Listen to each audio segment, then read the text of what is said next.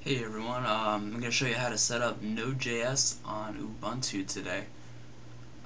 Basically, it's pretty straightforward. You're going to go to download on nodejs.org, go to install with a package manager, and scroll down to where it says Ubuntu, and you're going to basically follow this, but kind of show you uh, how to do that. It's pretty straightforward. You're just going to type each command into the terminal so I've already done it. I don't think it'd be good if I do it again. Um, but it's pretty much straightforward. After that, you just exit out terminal, reopen it, and everything should be good to go. Uh, you don't have to install the C++ modules for, for what we'll be doing yet anyway. And that's it. It's just these four commands.